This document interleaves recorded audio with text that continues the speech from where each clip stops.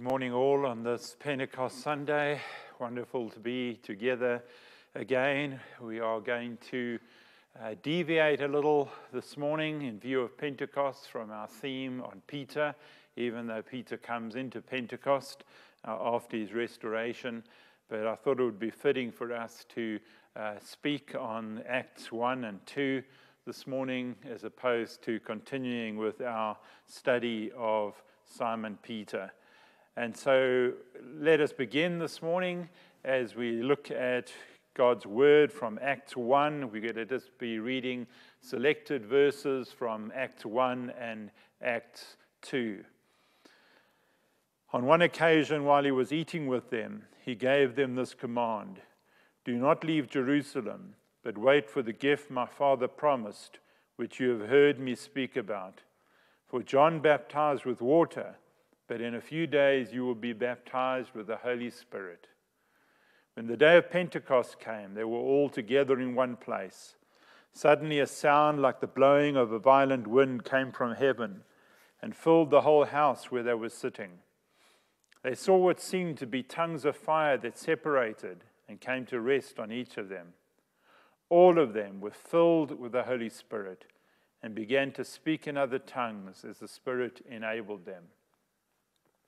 Now there were staying in Jerusalem God fearing Jews from every nation under heaven.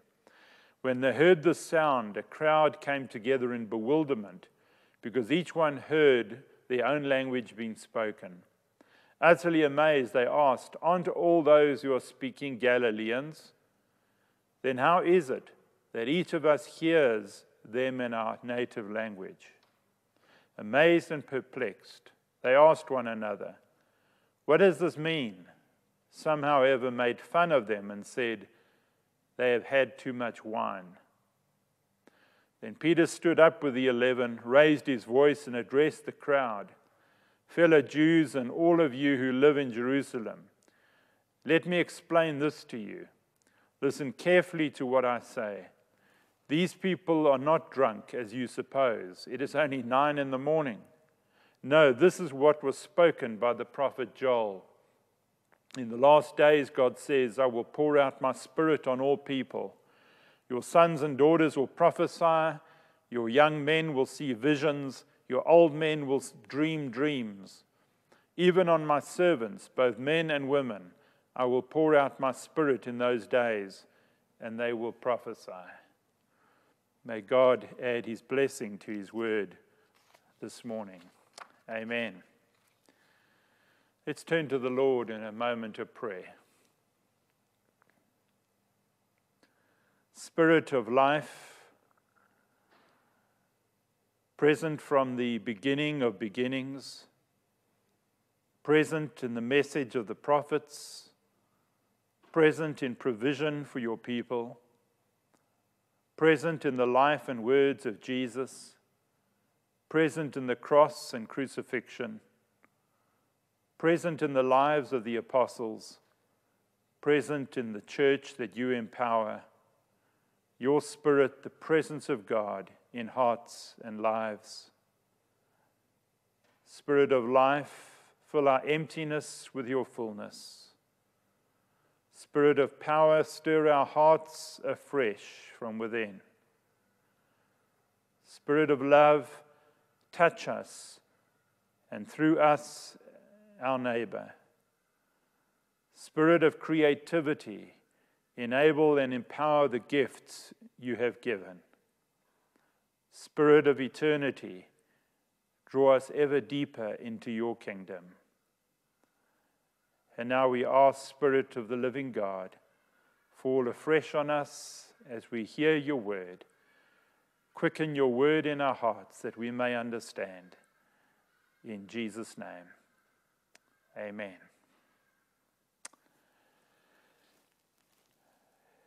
So, today, being the day of Pentecost, brings me to a theme that I'd like to look at, and I've simply entitled it Inadequacy Encountering Sufficiency. Inadequacy Encountering Sufficiency.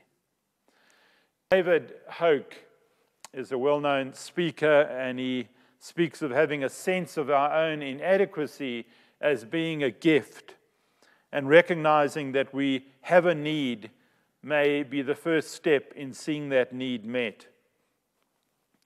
In today's world, feelings of inadequacy and insufficiency are portrayed as contrary to the principles of success.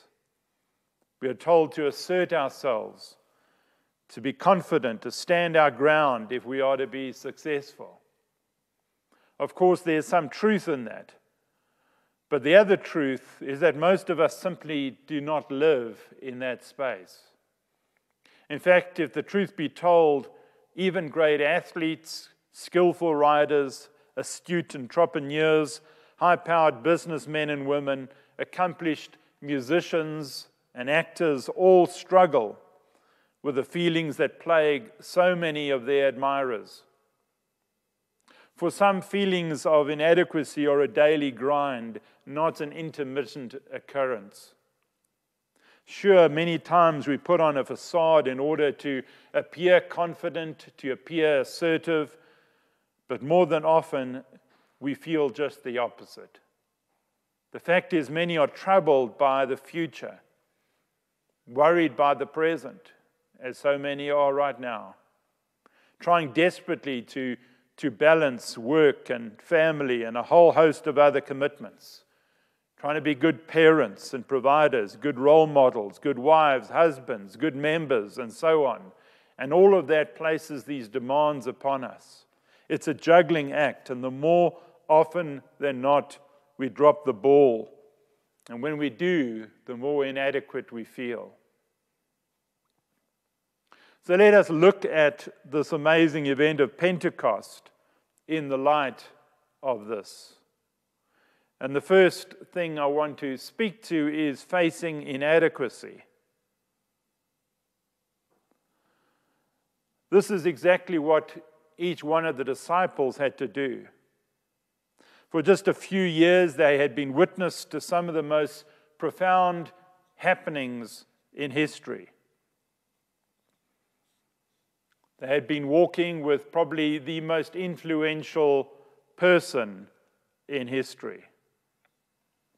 And daily they were experiencing the miraculous, listening to amazing teaching, seeing lives healed and transformed, seeing the wisdom of the world being brought to naught. It was a time of high adventure. And not only that, each one of them had forsaken all they had to follow Christ. They'd given up their nets, their livelihood to follow him. Today, we would probably classify them as being fanatics. And yet, in spite of what the world saw, there was a, a worldliness about them that even the gospel writers themselves are unashamed in recording. They tell, for example, of how on the night before his crucifixion, some of the disciples were found arguing among themselves as to who would be the greatest.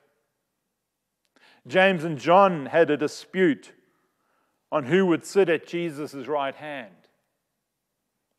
On another occasion, some had urged Jesus to rain fire down from heaven on those who refused to believe his teachings. When people brought their babies to Jesus to have him touch and bless them, some of the disciples intervened and rebuked them.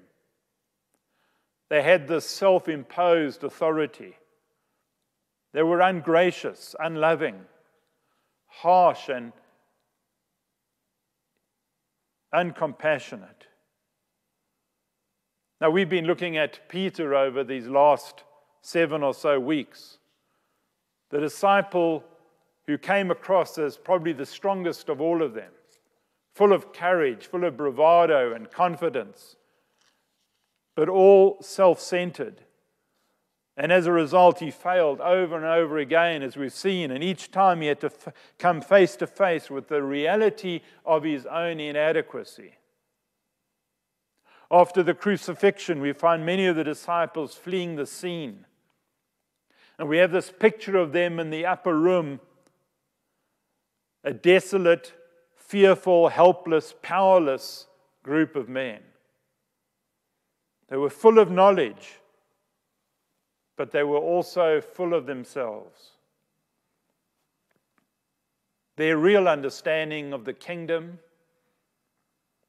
and kingdom values was pitiful. They struggled to grasp the meaning of the Old Testament that spoke of the coming suffering Messiah. Even after his resurrection, Jesus rebuked them for their slowness of heart to understand and believe what they read in the scriptures. Their adventure with Jesus seemed to come to an end in his crucifixion. And yet, out of that depth of despair and despondency comes the excitement of hearing that Jesus has risen from the dead and then he appears among them and proves that it is so. But just as soon afterwards, he is gone again, this time for good. After leaving them with some parting instructions to go to Jerusalem and to wait for the promised Holy Spirit. But at this point, they had no real idea of who the Holy Spirit was, what he was talking about. But they did as he commanded. And they waited in that upper room in Jerusalem, plagued by questions with very few answers. What they knew so astutely was that they, each one of them, had failed their Lord. And they felt desperately unworthy and desperately inadequate. I wonder if you're in a place like that this morning, where you feel desperately unworthy and inadequate. We need to face our inadequacy, which is what the disciples had to do. I was reading a while ago about the life of Dr. Frank Laubach, who lived in the early part of the 20th century. He was a man who went to seminary, became a pastor. He went to the Philippines to become a missionary. But then things kind of fell apart in his life. And it looked like his life work was going to count for absolutely nothing. He and his wife lost their three children to malaria. And then he was separated from his wife and their one remaining son for health reasons. And then an amazing thing happened. As he sat alone, isolated, looking at a life of nothing up to that point, when he was about in his mid 40s, he encountered God. He discovered that it was possible to live in intimate communion with God through the Holy Spirit, and his life turned around. He reached that part of the world for Christ. And then in a subsequent season of his life, he developed a passion for, for world literacy. He started the world literacy movement. In fact, many today ascribe the saying or phrase, each one teach one, to Frank Laubach. He eventually became an advisor to presidents and then nations in the field of literacy.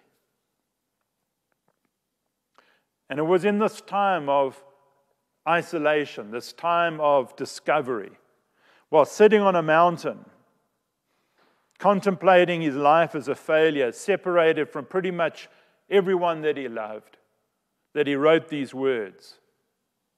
And I quote As for me, I had never lived I was half dead.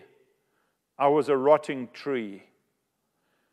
Until I reached the place where I wholly, with utter honesty, resolved and re resolved that I would find God's will.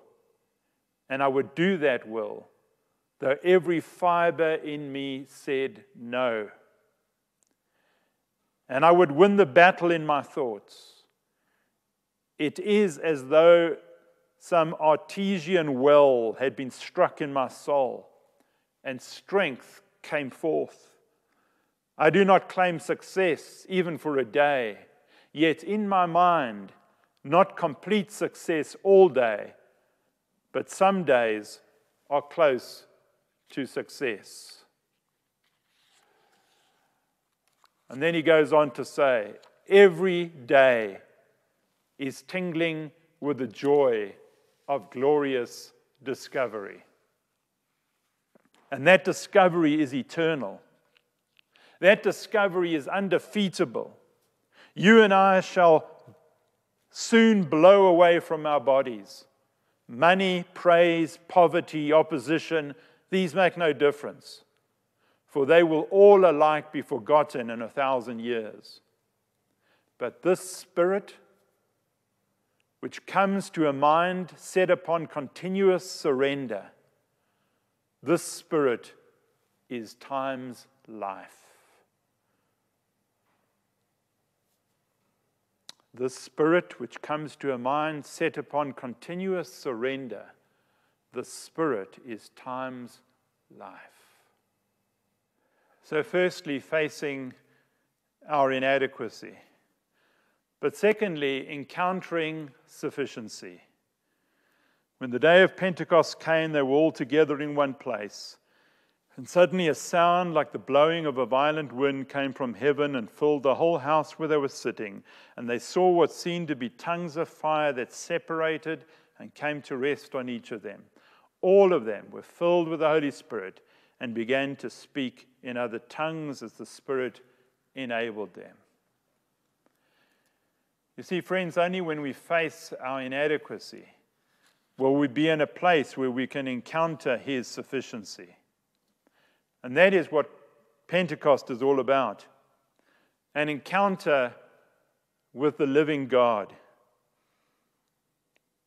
That is its real significance. The living God, the person of the Godhead, the Spirit of God. Don't miss the details of that day. Many preachers have focused unfortunately, on the mighty rushing wind or the visible tongues of fire or the fact that they spoke in many other languages of that day. Those were secondary to the real significance of the event. It was an encounter with the Spirit of God. God moved in. By His Spirit, God took over. They were filled and clothed with power from on high. Pentecost means that God is in charge. And talking about charge, what happened on the day of Pentecost has often been likened to electricity in a light bulb. There's no light in the glass, there's no light in the filament or within the bulb. The light only comes when these elements receive the electric current, when they receive the power. When the switch is turned on, electrical energy is converted into light energy. What happened at Pentecost was a transforming event. On that day, God came down in power and changed the lives of these men and women. They were plugged in, as it were, to the power, so much so that they were accused of being drunk, which they were. They were drunk in the Spirit. How we need that today in our church. When those who are called by His name are able to acknowledge their inadequacy and take hold of His sufficiency through the power of His Spirit. The primary sign of the Spirit's activity is always life. When the Spirit is present, people become animated, empowered, awake, energized, inspired. We even reflect that in our own language. We talk about a spirited person or a spirited creature as one in whom life and vitality flow freely. You are not designed to do life. You are designed to live life in the power of God's Spirit. Let me just say a few words about these two terms that we so often read and around which is so much confusion today baptism in the Holy Spirit and being filled with the Holy Spirit. You see, in Acts 1 4 to 5, Jesus said to his disciples, Do not leave Jerusalem, but wait for the gift my Father promised, which you have heard me speak about. For John baptized with water, but in a few days you will be baptized with the Holy Spirit. Speaking of Pentecost. On two occasions in Mark, in, in Matthew rather, and Luke, we are told that John baptized with water, but Jesus would baptize with the Holy Spirit and with fire. Jesus' baptism is, is more than just a forgiveness of sins. It is about the entrance into a new way of life, an empowering of His Spirit. The Old Testament, you see, look forward to the day when the Holy Spirit will be made available fully to all people in such an abundance that it'll be poured out like a flood on barren, drought stricken land. That is the picture of what would take place on the day of Pentecost. The image that is used is that he will be poured out. And later in that same text in Acts 2, Peter is explaining what has happened, and he quotes from that wonderful passage in Joel when the prophet declares that one day God will pour out his spirit on all flesh. Peter says that's just what you've witnessed. This is what was referred to as the baptism or outpouring of the Holy Spirit. Nowhere in the New Testament are we ever instructed or commanded to be baptized in the Holy Spirit as if this was a unique subsequent experience that we should be seeking after after we have been converted. And yet, time and time again, we are commanded to be filled with the Holy Spirit. For example, in Acts 4 8, then Peter, filled with the Holy Spirit, said to them, in Acts 6 3, the disciples are giving instructions for the selection of men who will care for some of the poor and needy. And we read, Therefore, friends, select among yourselves seven men of good standing, full of the Spirit and of wisdom. And then in verse 5, what they said pleased the whole community, and they chose Stephen, a man full of faith and the Holy Spirit. Again in Acts 7:55, we read, "But Pete, uh, uh, Stephen, filled with the Holy Spirit, gazed into heaven, saw the glory of God and Jesus standing at the right hand of the Father. So let me just clarify that. The phrase to be full of the Spirit is not a mechanical phrase. It does not mean that the Spirit is this kind of substance or, or vapor or liquid that you fill a glass with. It does not mean that sometimes you have more of the Spirit and sometimes you have less of the Spirit. The Spirit is not a, a force or a substance, the Spirit is a person. And so this language is an attempt to describe what is beyond words. And Luke uses a picture or metaphor to describe what Frank Laubach was talking about. To be full of the Spirit is a picture or a metaphor of a life in which the Spirit holds un, unswerving sway, unhindered sway. It's a picture of what happens when we allow the Spirit to guide our thoughts, our perceptions, and our actions. It's what happens when my normal tendency, tendency toward anger, self centeredness, and deceitfulness have been replaced by what? The fruit of the Spirit love, joy, peace, patience, kindness, goodness, gentleness, and self control. And I become full of His life. We sometimes hear people referring to another as being just full of it. And of course, we know what that it is referring to. But to be full of the Holy Spirit means to be in total surrender to the Spirit, to be overflowing with the life and the fruit of the Spirit. And so, as we close this morning, I want to invite us to challenge us to embark on an adventure of daily being filled with the Holy Spirit, being surrendered to the Spirit, resolving and re resolving, as Frank Laubach said, to yield ourselves to the Spirit, even though every fiber of our fallen nature says no. Somebody said, God only fills empty vessels. And there's a real sense in which that is true. What we may need is to come to a place of emptying in our own lives, facing our inadequacy and encountering His sufficiency. And so, just a couple of things I'd encourage you to do to empty yourself of this week and beyond as you seek to live a life in the fullness of God's Spirit. The first is to empty yourself of noise and clutter and busyness.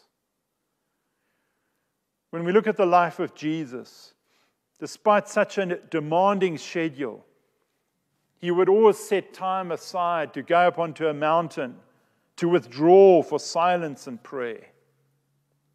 And if you don't do the same, your life may be so filled with noise and stimulation and busyness that when the Spirit does come as a gentle breeze, which is so often how the Bible describes Him, you just won't hear. I wonder if there's anyone here watching this today beside me who has a life that is so often full of noise that you do not always have the time to draw aside and to listen to that small, still voice of His Spirit. And so, can I urge you this week, if that is you, to make a point of setting that time aside and growing still in His presence and asking the Holy Spirit to come and fill you, encountering his sufficiency. But in the light of what we said about facing our inadequacy, we said earlier that, like the disciples, before we can be filled, we must do that. We must face our inadequacy. And that is what Frank Laubach did. That may mean God leading us to a place of brokenness and a place of deep introspection. David once said, A broken and a contrite heart, O Lord, you will not despise. In other words, coming clean with God. And I've used this illustration before, but I think it so clearly sums up what it is to be filled with the Holy Spirit. When we were young, we used to have these fountain pens. Used to go and buy a bottle of ink. Never understood why it was called quink. But we used to buy a bottle of ink and we used to take our pen, and they often used to be refills, which was a later invention. But in the early days, you had to fill it up with ink. And you would unscrew the nib and you would pour the ink into the, the tube, and then you would put it together again. And after writing for some time, the ink would start dropping, the level would drop, and, and then the nib would start getting full of gunk. It would get full of dirt that was on the paper that you were writing on, and eventually the little spurts of ink would blob all over your page. And it was so frustrating because, you know, it would spoil the whole page. You had to start again, and you would go through to the bathroom and unscrew the nib and wash it out. And then, once the nib was completely free of any, any kind of uh, material or gunk, as I call it, you would put it together again and fill it up, and, and you'd start writing. And it would be a bit watery at first, but it would then just start flowing just so beautifully across the page. Friends, that is so often what our lives are like. Our lives, as we rub shoulders with the everyday world and, and all the stresses and all the issues that we are faced with, we get filled with gunk. We get filled with debris and, and rubbish. And every now and again, we, we need to be cleaned. We need to be cleansed. We, only, we can only be filled when we are cleansed. Because God's Spirit cannot flow through a, a vessel that is full, a vessel that is dirty. And so we have to be cleansed of all that, that gunk in our lives. We have to come clean, in other words, with God. We need to face our inadequacy. And only when we face our inadequacy are we able to take hold of His sufficiency. Friends, Ephesians 5 8 says, Be filled with the Holy Spirit. It is a continuous, ongoing filling. It's not a one off event that we can refer to and say, That was when I was filled or baptized in the Holy Spirit. It's an on day, on, ongoing event every day because every day we, we find ourselves just getting sucked more and more into the world.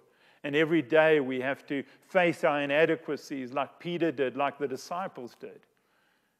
And we have to confess our sin before the Lord and allow Him by His Spirit to cleanse us of all that gunk so that once again His Spirit can flow in and through us. And so I urge you this morning as you go into this week Empty yourself of the noise and the busyness. Empty yourself of the sin that so hinders us. And confess it to God and ask Him by His Spirit to come and fill you. And so may we face our inadequacy and encounter His sufficiency as we seek His face and ask for that filling of His Spirit. And so, bless you. Let's bow our heads in a word of prayer. Lord, we just thank you for your word. We thank you for this amazing event on the day of Pentecost, where your spirit came upon 120 or so disciples and empowered them and gave them the, the zeal to go out and proclaim your word. We thank you for the transformation in Peter, who just a short while before had denied you, had be- betrayed you in that sense. And yet, here he is standing up, declaring who you are and what has happened. Lord, may we be like Peter. May we be like those disciples. May the zeal of the Lord consume us as we go out in the power of your Spirit to do what we can only do in the power of your Spirit.